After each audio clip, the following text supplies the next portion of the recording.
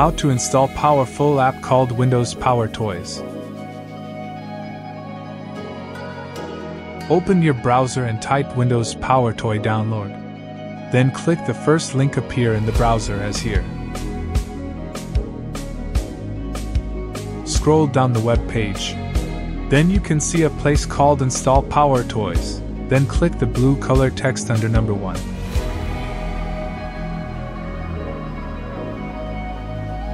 Then click the third link and it automatically download the application. Go to the place where the application downloaded and click it to install the application on your PC. Then you will see like this interface. Click I agree.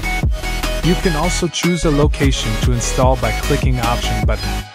After all of these click install. Wait until the installation successfully completed message appear. Now you can use the powerful app called Windows Power Toys. You can see many useful features are there in this app. Here are some features that I like most. Color Picker.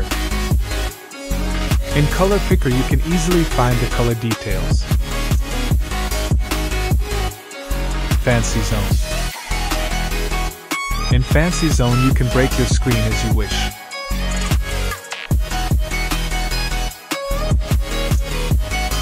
Host File Editor Image Resizer Mouse Utilities You can find where your mouse pointer is located. This is my favorite function called Power Toy Run. This is easy to open by clicking Alt plus spacebar.